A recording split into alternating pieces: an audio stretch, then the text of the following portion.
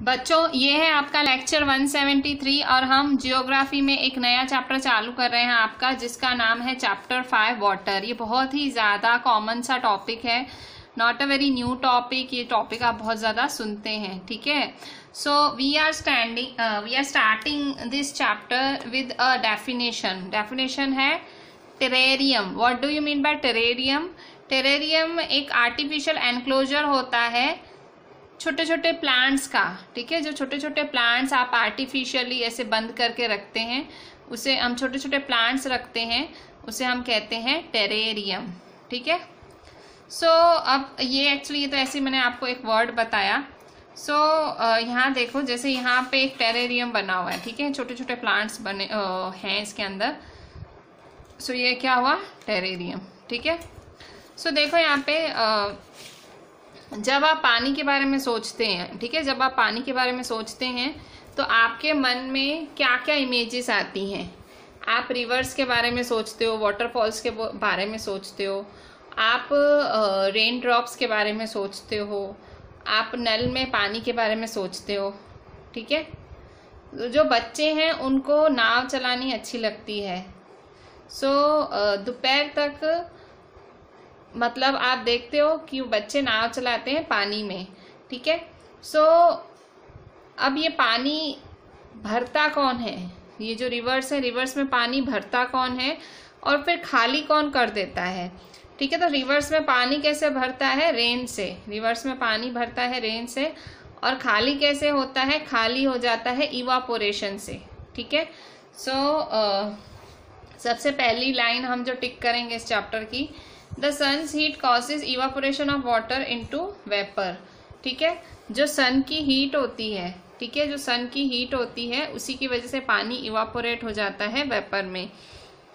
Evaporate होने का मतलब पानी बाफ बन के हवा में उड़ जाता है। When the water vapour cools down it condenses and forms clouds जब वाटर वेपर कूल डाउन हो जाता है, जब वाटर वेपर ठंडा हो जाता है, फिर वो ऊपर जाके क्या करता है? बादल बनाता है। और फिर हमें क्या मिलती है? हमें रेन मिलती है स्नो मिलती है स्लीट मिलती है। बहुत ही ज़्यादा पुरानी चीज़ है। ये चीज़ आपने बहुत बारी साइंस में पढ़ी हुई है कि वाटर वेपर ठंडा होता है और बादल बनाता है और वहाँ से फिर हमको रेन स्नो और स्लीट मिलती है। अच्छा रेन मतलब बारिश स्नो मतलब बर्फ़। स्लीट भी छोटे छोटे बर्फ़ के टुकड़े समझ लो।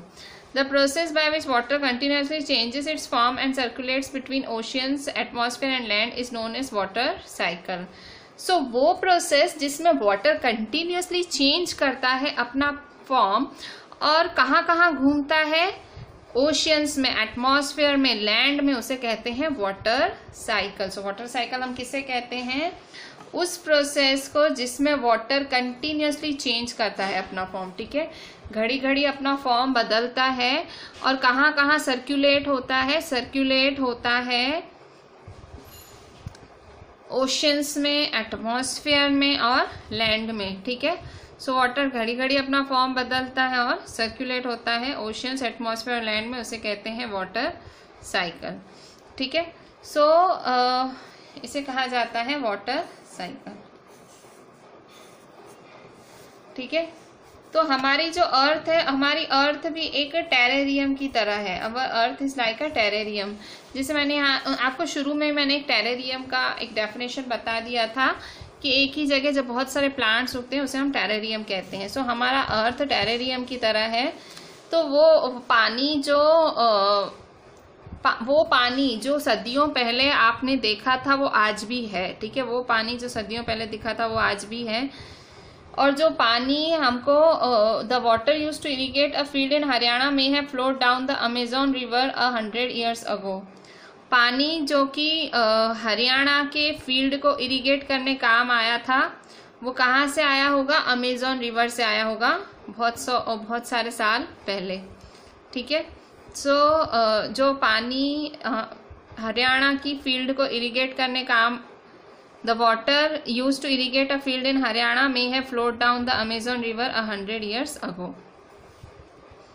The major sources of fresh water are rivers, ponds, springs and glaciers. So fresh water के sources क्या हैं?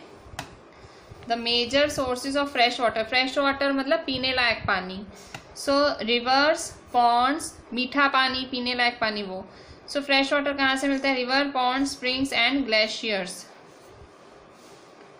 the ocean bodies and the seas contain salty water जो ओशन होते हैं या सी होते हैं, ठीक है? सागर होते हैं, समुद्र होते हैं, उनमें खारा पानी होता है।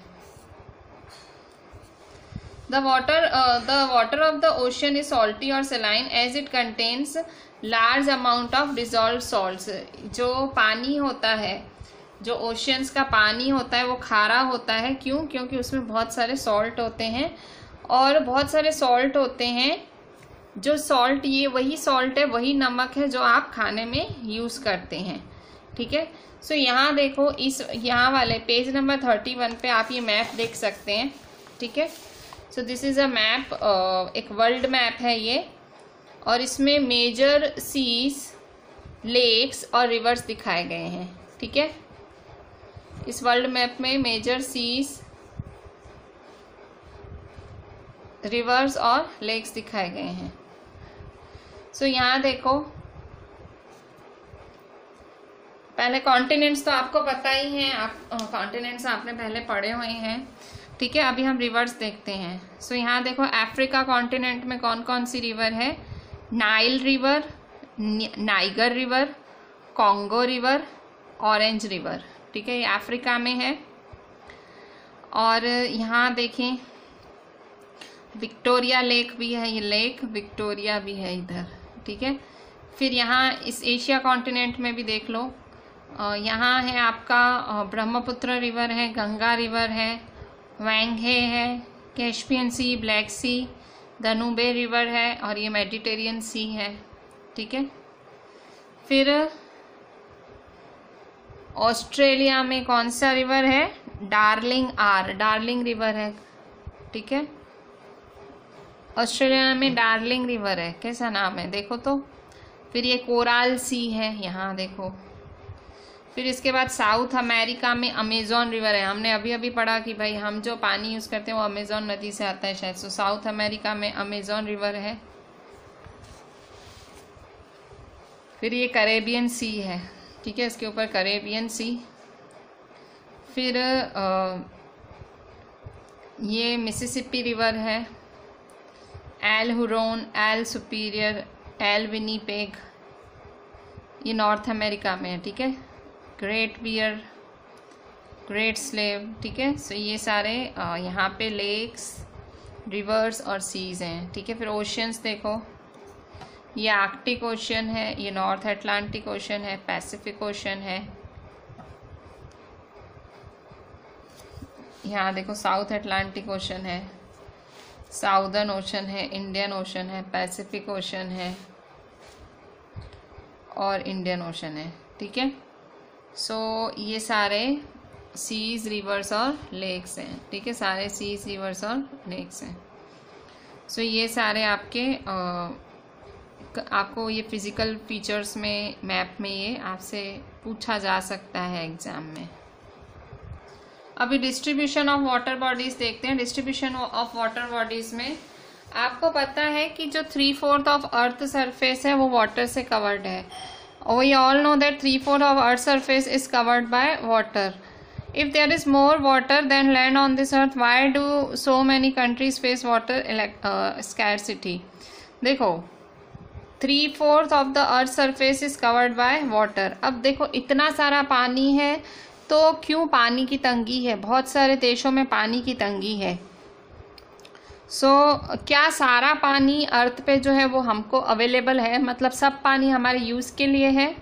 तो देखो यहाँ पे इसका कैलकुलेशन है। देखो जो ओशियंस हैं ओशियंस हैं नाइन्टी सेवन पॉइंट थ्री है जो कि सलाइन वाटर है। ठीक है? ओशियंस ये आपको टेबल लिखनी है हाँ? ये टेबल आपको लिखनी है सारी। जो ओशियंस हैं ओशियंस हैं सलाइन वाटर खारा पानी है, जो कि नाइन्टी सेवन पॉइंट थ्री फिर आइस कैप्स है, ठीक है आइस की जो बर्फ़ की कैप जैसा, वो है दो परसेंट। इसके बाद है ग्राउंड वाटर ठीक है, ज़मीन के अंदर का पानी पॉइंट सिक्स एट परसेंट है। फ्रेश वाटर लेक्स लेक्स हैं वो हैं zero point zero zero nine percent. Inland seas and salt lakes ठीक है, वो नमक के जो लेक्स हैं zero point zero zero nine percent atmosphere है zero point zero zero one nine percent और रिवर्स है zero point zero zero zero one percent ठीक है? सो ये सलाइन वाटर है और ये है फ्रेश वाटर ठीक है?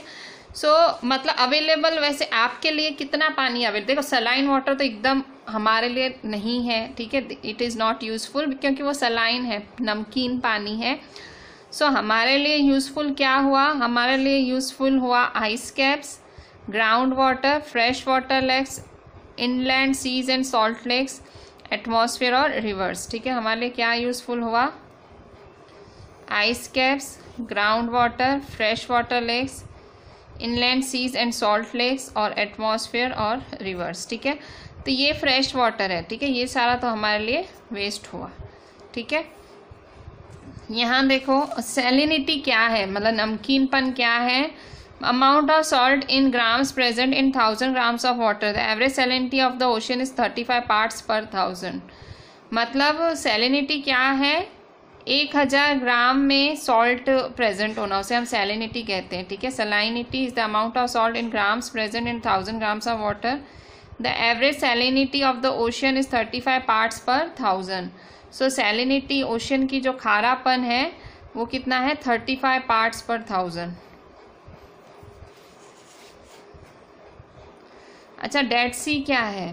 Dead Sea in Israel has salinity of three forty grams per litre of water Israel की जो डेड सी है, उसकी जो खारापन कितना है?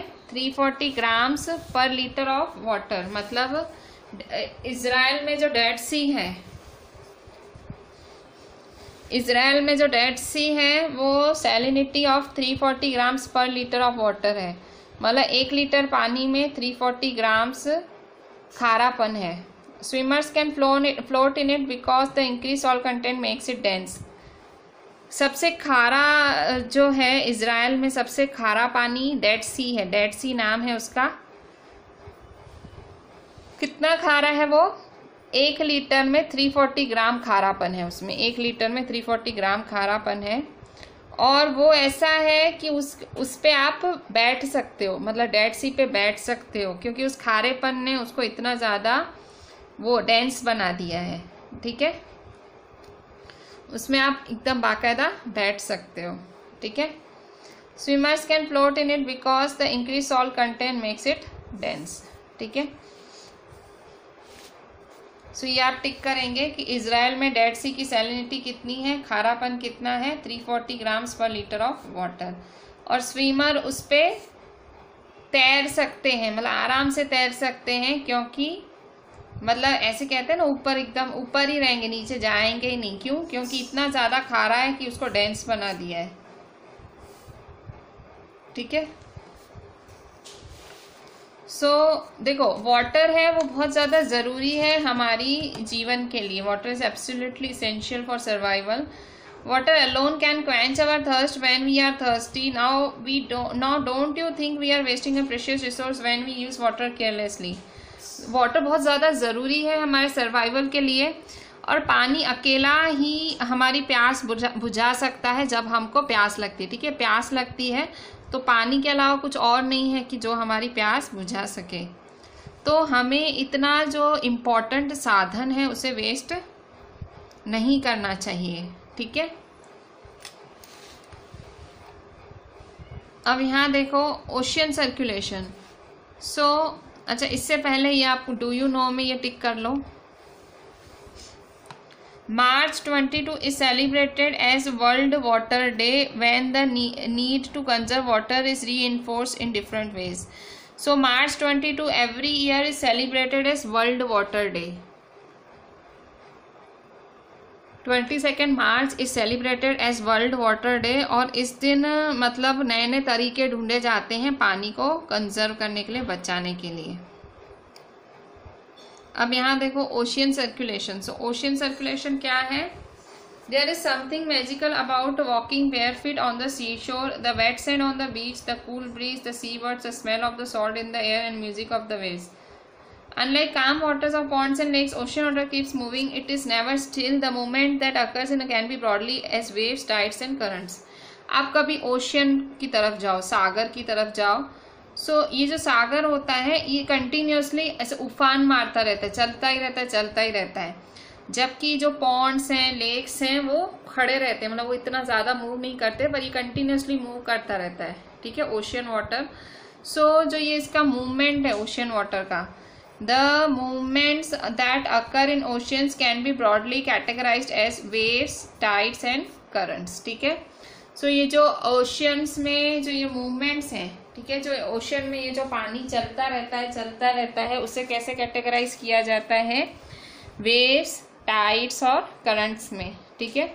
सो ओशन वाटर को इस तरह से कैटेगराइज किया जाता है। सो वेव्स है।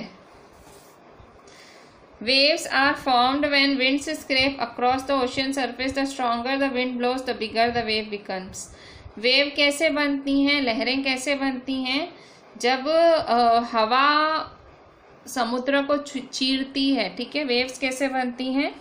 Waves are form when winds scrape across the ocean surface.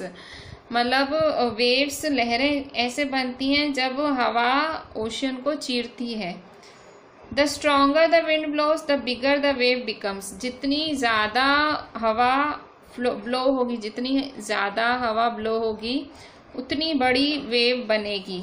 ठीक है? The stronger the wind blows the bigger the wave becomes waves कैसे बनती हैं? जब जब हवा विंड हवाएँ ओशियन के सरफेस को चीरती हैं तो बनती हैं वेव्स सो so, ये देखें ये वेव्स बनाई हुई हैं।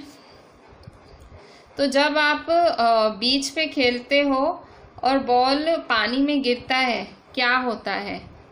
तो ये बहुत ही फन है कि how the ball gets washed back to the shore by the waves ये देखना एक मज़ेदार बात है कि बॉल किस तरह से आ, पानी मतलब ये पानी कैसे उसको उछालता है। When the water on the surface of the oceans rises and falls alternately they are called waves waves को अगर वेव्स को परफेक्टली डिफाइन करना हो तो क्या लिख सकते हैं? When the water on the surface of ocean rises and falls alternately. मतलब ओशियन में जब पानी उभरता है, गिरता है, उभरता है, गिरता है सो उसे क्या कहते हैं? वेव्स ठीक है? When the water on the surface of ocean rises and falls alternately, उसे कहते हैं वेव्स ठीक है? ड्यूरिंग अ स्टॉम जब भी कोई आंधी आती है, ज़ोर का तूफ़ान आता है the wind blowing at very high speed form huge waves तो ये जो लहरें हैं जब बहुत ज़ोर की जब आंधी या तूफ़ान आता है तो ये जो हवाएँ चलती हैं जो इतनी हाई स्पीड पे हवाएँ चलती हैं वो बड़ी बड़ी लहरें बनाती हैं। सो so, इन बड़ी बड़ी लहरों की वजह से बहुत ज़्यादा डिस्ट्रक्शन हो सकता है ठीक है? ये ये चीज़ आपने सुनी भी होगी सुनामी कहते हैं इसे टी साइलेंट है सुनामी। सुनामी क्या होता है?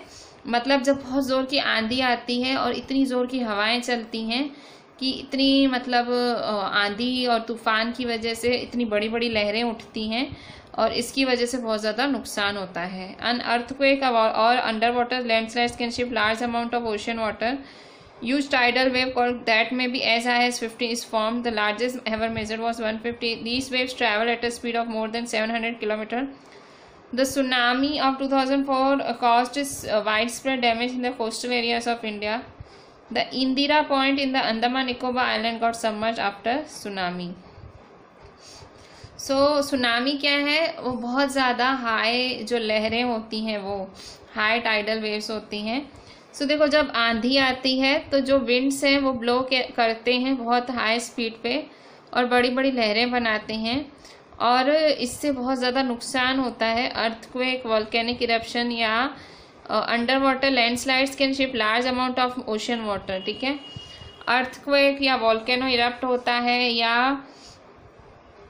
पानी, अंदर ही अंदर पानी क्या होता है? शिफ्ट मतलब पूरा ओशियन का पानी है, जो समुद्र का पानी है, उसे शिफ्ट करता है। As a result a huge tidal wave called tsunami that may be as high as fifteen metre is formed ठीक है? सो फिर से जब आंधी चलती है ज़ोर की, जब तूफ़ान आता है तो जो विंड है, जो हवा चलती है, वो बहुत बड़ी बड़ी वेव्स बनाती है, बहुत बड़ी बड़ी लहरें बनाती है और इसकी वजह से बहुत ज़्यादा नुकसान होता है और अर्थक्वेक वॉल्केनिक इरप्शन या अंडर वाटर लैंडस्लाइड्स वो पानी का जो large amount of ocean water है, उसे शिफ्ट करते हैं और इसी की वजह से बहुत बड़ी एक टाइडल वेव जिसको सुनामी कहते हैं। ठीक है? मतलब लहर। ये टाइड्स से बनी हुई इन लहर, ये एक बहुत ही बड़ी लहर, पानी की लहर ऊँची उठती है, जिसे हम सुनामी कहते हैं। और ये सुनामी कितनी होती है? A huge tidal wave call tsunami that may be as high as fifteen metre is formed ठीक है? सो ह्यूज टाइडल वेव जिसे हम सुनामी कहते हैं, जो कि फिफ्टीन मीटर हाई है, वो फॉर्म होती है। The largest tsunami ever measured was 150 metre high सबसे बड़ी सुनामी जब मेज़र की गई थी, कितनी थी? 150 मीटर हाई थी। और ये waves this waves travel at a speed more than 700 kilometre per hour in waves की, इन सुनामी की स्पीड क्या होती है? This waves travel at a speed of more than 700 kilometre per hour एक घंटे में 700 किलोमीटर ये वेव्स ट्रैवल करती हैं। The tsunami of 2004 caused widespread damage in the coastal areas of India. जो 2004 की सुनामी है, इससे जो कोस्टल एरियाज़ हैं इंडिया के जो कोस्टल एरियाज़ हैं, वहाँ बहुत ज़्यादा डैमेज हुआ था 2004 की सुनामी की वजह से जो इंडिया के कोस्टल एरियाज़ हैं, जो तटीय इलाके हैं, बहुत ज़्यादा नुकसान हुआ था the Indira point in the Andaman Nicobar Islands got submerged after the tsunami जो अंडमान निकोबा आइलैंड्स हैं, उसकी एक पॉइंट है इंदिरा पॉइंट वो पूरी डूबी गई थी सुनामी में, ठीक है? So the tsunami of two thousand four wide spread damage in the coastal areas of India the Indira point in the Andaman Nicobar islands got submerged after the tsunami tsunami क्या है? Tsunami एक Japanese word है, जिसका मतलब है harbour waves ठीक है? Tsunami एक जापानीज वर्ड है, जिसका मतलब हार्बर वेव्स है। सो हार्बर का मतलब क्या होता है? पॉट्स होते हैं पॉट वेव्स मतलब पॉट मतलब क्या होते हैं? पॉट का मतलब बंदरगाह नहीं बोलते हैं हम लोग, जहाँ पे शिप्स खड़ी रहती हैं वो। सो so, वो सारे के सारे वो डिस्ट्रॉय हो जाते हैं। ऐसी ऐसी लहर उठती है कि सब डिस्ट्रॉय ही जाते हैं। सारे हार्बर के हार्बर डिस्ट्रॉय हो जाते हैं। सो so, इसलिए इन्हें हार्बर वेव्स भी कहा जाता है ठीक है? सो so, 2004 में बहुत खतरनाक सुनामी आई थी जिसने अंडमान निकोबार आइलैंड के इंदिरा पॉइंट को भी डुबा दिया था ठीक है? द अर्थ पेंडीमोनियम पेंडी पेंडीमोनियम का मतलब एकदम उपद्रव मचा देना एकदम उत्पात मचा देना एकदम सब हाहाकार मचा देना वैसा। सो so, सुनामी को अर्थ का पेंडीमोनियम क्यों कहा जाता है? मतलब उत, उत्पात क्यों मचा देती है सुनामी? सो so, सुनामी और द हार्बर वेव सुनामी को हार्बर वेव भी कहा जाता है। क्यों कहा जाता है? क्योंकि वो पॉट के पॉट उजाड़ देती है शिप्स के शिप्स बहा देती है। Struck havoc in the Indian ocean on 26 December 2004 ये केबीसी का क्वेश्चन बन सकता है कि भाई, साल 2004 26 दिसंबर को सुनामी ने किसको स्टक किया था? तो इंडियन ओशन को, ठीक है? सो ट्वेंटी सिक्स दिसंबर 2004 में जो सुनामी है, उसने एक हैवॉक क्रिएट किया था. The wave was the result of earthquake that had its epicentre close to the western boundary of Sumatra so wave क्या था? Wave was the result of earthquake ये वेव कैसे आई थी? सुनामी की लहर कैसे आई थी? So that had its epicentre close to the western boundary of Sumatra actually हुआ क्या था? अर्थक्वेक आया था. कहाँ पे आया था? सुमत्रा में. ठीक है? तो उसकी वजह से वेव हुई थी क्रिएट कहाँ पे? इंडियन ओशन में. The magnitude of the earthquake was nine point zero on the Richard scale so ये सुनामी कितने मैग्नीट्यूड की आई थी?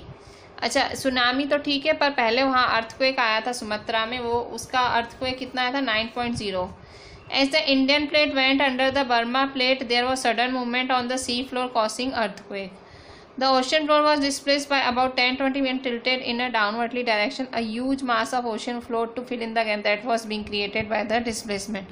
Earthquake इतनी ज़ोर से आया कि धरती खिसक गई और खिसकने की वजह से वो गैप किसने फिल की ओशियन वाटर ने ठीक है so the this mark the withdrawal of water mass from the coast lines of the land masses in south and south east Asia thrusting of the Indian plate below the Burma plate the water mass rushed back towards the coast line so पानी वापस coast line की तरफ़ चला गया tsunami travelled at a speed of about 800 kilometre per hour tsunami ने कितना travel किया 800 kilometre per hour की स्पीड से ट्रेवल किया so comparable to speed of commercial aircraft and completely washed away some of the islands in the Indian ocean ठीक है? So so, पूरी तरह से बहा दिया इन्होंने आइलैंड्स को। सो so, इस सुनामी की स्पीड कितनी थी? ये सुनामी में जो लहरों की स्पीड थी वो थी 800 किलोमीटर पर आवर एक घंटे में 800 किलोमीटर की स्पीड थी। सो so, पूरी वो बहा के लेके गई स्पीड के साथ। सब कुछ सारे आइलैंड्स बहा के लेके गई। जो इंदिरा पॉइंट था जिसकी हमने बात की the Indira point in the Andaman Nicobar islands that marked the south most point of India got completely submerged so जो इंदिरा पॉइंट था अंडमान निकोबार आइलैंड्स का और वो जो इंदिरा पॉइंट है वो साउदर्न मोस्ट पॉइंट है इंडिया का। साउथ मोस्ट पॉइंट इंडिया का माना जाता है इंदिरा पॉइंट। सो वो भी पूरा डूब गया। सो so, जैसे जैसे वेव आगे बढ़ी मतलब अर्थक्वेक से आगे बढ़ी सुमत्रा से। सुमत्रा से वेव आगे बढ़ती बढ़ती कहाँ गई? अंडमान आइलैंड्स पे। और श्रीलंका की तरफ़ गई, ठीक है? सो फिर स्पीड कम होती गई, कम होती गई, कम होती गई, ठीक है? सो पर जित मतलब जाते जाते बहुत ज़्यादा दस हज़ार से ज़्यादा लोग इस वेव ने मारे, ठीक है? मतलब वेव वेव आई कहाँ से थी? वेव मतलब इंडियन ओशन मतलब इंडियन ओशन को हिट किया था। और क्या क्या किस किस को अफेक्ट किया? इंदिरा पॉइंट को इफ़ेक्ट किया अंडमान आइलैंड्स फिर श्रीलंका। दस हज़ार से ज़्यादा लोग मरे इसमें डाई हुए। And affected more than lakhs of houses लाखों घर उजड़ गए। In India the worst affected were the coastal areas of Andhra Pradesh Tamil Nadu Kerala Puducherry and Andaman Nicobar islands सबसे बुरी तरह से ये 2004 की वेव ने किसको अफेक्ट किया था in India worst affected were the coastal areas of Andaman, Andhra Pradesh, Tamil Nadu, Kerala, Puducherry and Andaman Nicobar Islands. While the earthquake cannot be predicted in advance, it is possible to give a 3 hour notice of potential tsunami मतलब देखो earthquake को आप पता नहीं कर सकते हो। Earthquake आने वाला ये पता नहीं चल सकता है। पर आ, कम से कम सुनामी पता लग जाती है। सो तीन घंटे पहले नोटिस दिया जा सकता है। सो पैसिफिक ओशन में ऐसे पैसिफिक ओशन में इस तरह की वार्निंग्स दी जाती हैं घड़ी घड़ी पर इंडियन ओशन में नहीं। क्यों? क्योंकि इंडियन ओशन में सुनामी आती ही नहीं है। ठीक है?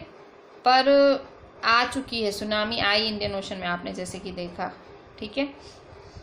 सो सुनामी ने जो साउथ और साउथ एशियन कोस्ट का जो हालत किया दिसंबर 2004 में सबसे बुरी सुनामी रही वो। इतने इतने जो इतने पता नहीं कितने सौ सालों में ये सुनामी ऐसी सबसे बुरी सुनामी सबसे डिवास्टेटिंग सुनामी आई थी।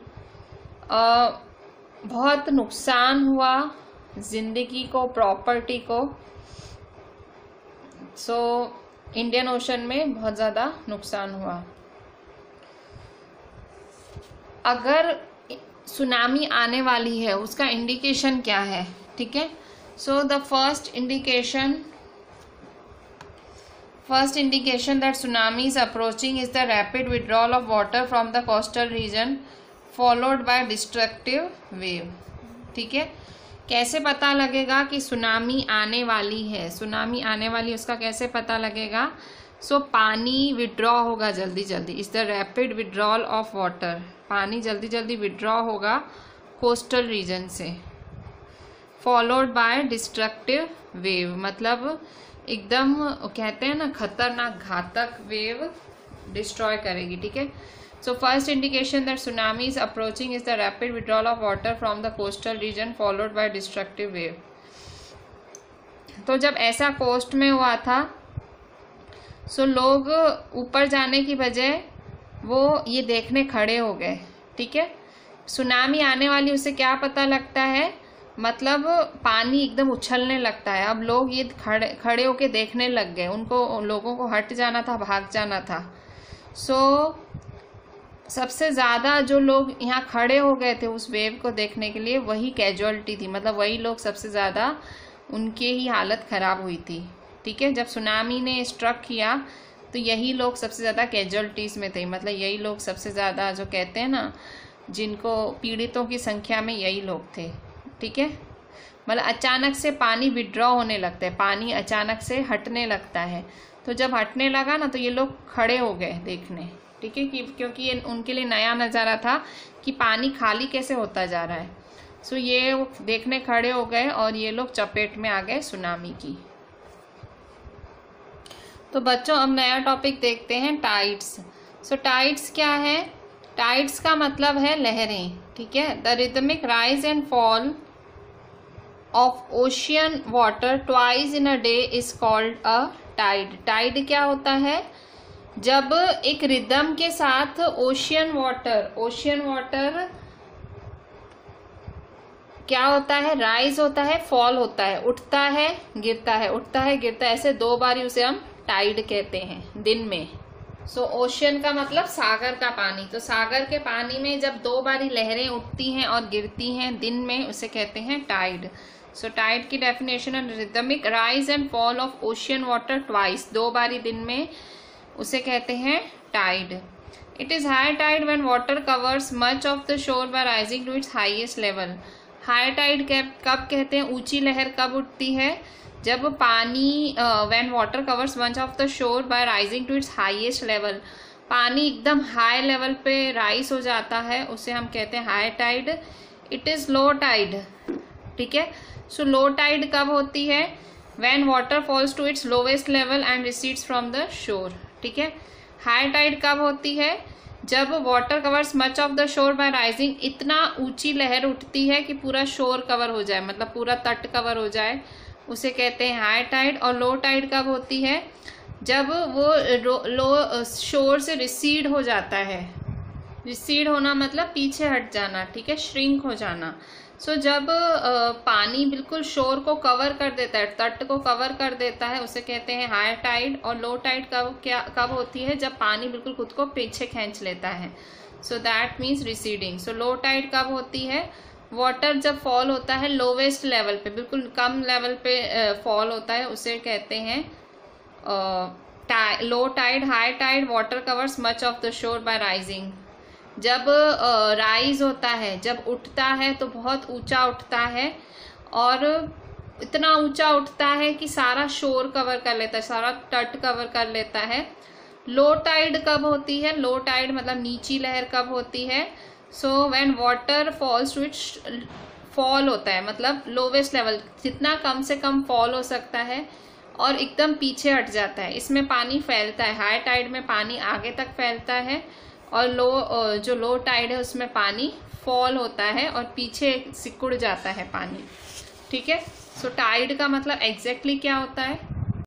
तो एग्जैक्टली हिंदी वर्ड अगर टाइड का देखें तो उसका मतलब होता है ज्वार बाटा। ज्वार बाटा मतलब टाइम टू टाइम लहरों का उठना और गिरना। ठीक है? सो लहर जब इतनी ऊँची उठे, उसे कहते हैं हाई टाइड जब एकदम नीची गिरे, उसे कहते हैं लो टाइड ठीक है? सो ये हुआ हमारा टाइड्स ठीक है? सो so, अब टाइड को जनरेट कैसे करा जाता है? टाइड जनरेट कैसे होती है? ठीक है ये तो बहुत टाइड एक इंपॉर्टेंट सी डेफिनेशन थी। अब टाइड जनरेट कैसे होती है? So the strong gravitational pull exerted by the sun and the moon on the earth surface causes the tides. Tides कैसे कॉज होती हैं? जो एक ग्रेविटेशनल फोर्स होता है बहुत स्ट्रॉन्ग ग्रेविटेशनल फोर्स होता है सन और मून के बीच में। सन और मून के बीच में the strong gravitational pull exerted by the sun and the moon on the earth surface मतलब सन और मून मिलके अर्थ पे ग्रेविटेशनल फोर्स को एक्सर्ट करते हैं और टाइड्स बनती हैं, ठीक है? सन और मून दोनों सन और मून दोनों अर्थ के सरफेस पे जो ग्रेविटेशनल पुल है वो एक्सर्ट करते हैं, बहुत ही स्ट्रॉन्ग ग्रेविटेशनल पुल एक्सर्ट करते हैं और उसी से टाइड्स जनरेट होती हैं। The water of the earth closer to the moon gets pulled under the influence of the moon's gravitational force and causes high tide. High tide कब होती है सो हाई टाइड हमने पढ़ा था ना जो बहुत ज़्यादा ऊँची उठती है so the water of the earth closer to the moon जो ज़मीन का पानी है हमारी धरती का पानी है जो मून के करीब है वो पुल होता है under the influence of moon जो मून ग्रेविटेशन फोर्स लगाता है, और उसी की वजह से हाई टाइड होता है। ठीक है? हाई टाइड कब होता है? जो water of the earth closer to the moon जो ज़मीन का पानी है, ठीक है? जो ज़मीन का पानी है, जो हमारी धरती का पानी है, वो एकदम पुल हो जाता है। पुल होना मतलब खींचना, ठीक है? पुल होना मतलब खींचना सो so, जो पानी होता है अर्थ का जो मून के नज़दीक होता है उसे खींचते खींचा जाता है मून के ग्रेविटेशनल फोर्स की वजह से और उसी की वजह से हाई टाइड जनरेट होती है।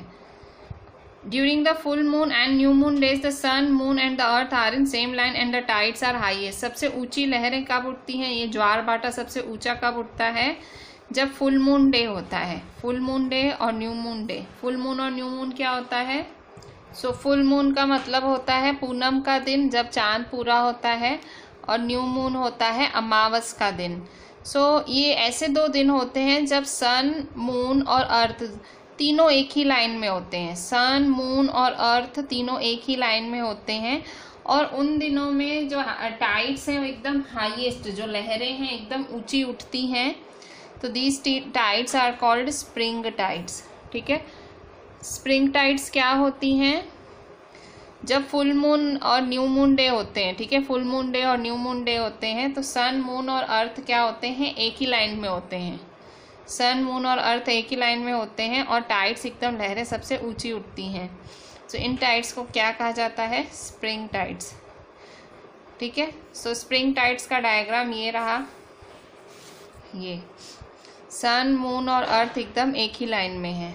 ठीक है? तो इसे क्या कहा जाएगा? स्प्रिंग टाइड सो आज हम यहीं एंड करते हैं स्प्रिंग टाइड पे कि फुल मून जब पूरे, पूरा चाँद होता है या चाँद नहीं होता है तो सन मून और अर्थ एक ही लाइन में होते हैं और उस टाइम समुद्र की लहरें बहुत ज़्यादा ऊँची उठती हैं। सो तब हम कहते हैं, क्या है? तब हम कहते हैं कि भाई स्प्रिंग टाइड है, ठीक है? सो इसके लिए कौन सा डायग्राम ड्रॉ करोगे आप? इसके लिए ये वाला, ठीक है? ये दो डायग्राम्स क्यों हैं स्प्रिंग टाइड में? क्योंकि एक फुल मून का है और एक न्यू मून का है। फुल मून मतलब पूनम, जब चाँद पूरा होता है, और न्यू मून मतलब अमावस, जब चाँद नहीं होता है। ठीक है? सो यहाँ स्प्रिंग टाइड पे हम एंड करते हैं। और हमें ये दो डायग्राम बनाने पड़ेंगे स्प्रिंग टाइड में। सन मून और अर्थ एक ही लाइन में है। सन अर्थ और मून एक ही लाइन में है। ठीक है? सो एक बार फिर से देख लेते हैं इस चैप्टर में हमने क्या पढ़ा। इस, ये चैप्टर हमने वाटर से चालू किया था और हमने पढ़ा इवापोरेशन होता है, फिर हमने कहा, पढ़ा कि भाई वाटर साइकिल है ये। ये देखो, ये वाटर साइकिल है, ठीक है? ये वाटर साइकिल भी आपको ड्रॉ करनी रहेगी। वाटर साइकिल आपको ड्रॉ करनी पड़ेगी। ये देखो, पानी है इवापोरेट होके ऊपर जा रहा है, बादल बना रहा है ऊपर जाके, और फिर प्रिसिपिटेशन मतलब पानी की बूंदे बन के नीचे आ रहा है, ठीक है? सो so, ये क्या हुआ आपका? वाटर साइकिल ठीक है ये वाटर साइकिल आपको ड्रॉ करनी पड़ेगी। ठीक है सिंपल सा है कुछ भी नहीं है। ये पानी बनाना है और ये इवापोरेशन हो रहा है ऊपर जा रहा है कंडेंसेशन मतलब पानी लिक्विड हो रहा है फिर प्रिसिपिटेशन मतलब बूंदे बन के नीचे आ रहा है। ठीक है? सो ये वाटर साइकिल है पूरा। Major sources of fresh water fresh water के सोर्सेज हैं। फिर डेड सी है डेड सी जो इसराइल में है सबसे ज़्यादा खारा पानी है उसका। फिर ये जो वाटर बॉडीज़ हैं ठीक है? सो ये है सलाइन वाटर ये फ्रेश वाटर है। फिर इसके बाद ओशियन के सर्कुलेशन को ओशियन के मूवमेंट्स को वेव्स टाइड्स और करंट्स के तौर पे डिवाइड किया जाता है। सो so, वेव्स के बारे में हमने पढ़ा। वेव्स, ठीक है? सो वेव्स है ये। फिर ये टाइड्स ठीक है? सो यहाँ स्प्रिंग टाइट तक लिखेंगे हम, ठीक है? सो ये हुआ आपका spring tide so just write each and every thing properly read the entire chapter up to this up to page number thirty six and write all the important points which I have made you underline and draw the both uh, draw both the diagrams of water cycle and this uh, spring tide only ठीक है neap tide we will discuss in the coming lecture ठीक है so with this i am ending my today's lecture just do each and everything very properly and whatsapp me thank you